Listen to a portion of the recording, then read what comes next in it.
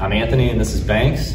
Uh, we're here at Bulletproof Dog Training. He, Banks was just here for 15 weeks with Riley and he did a great job. He's a very good boy. He learned all his commands. He listens really well now and he's a really great dog.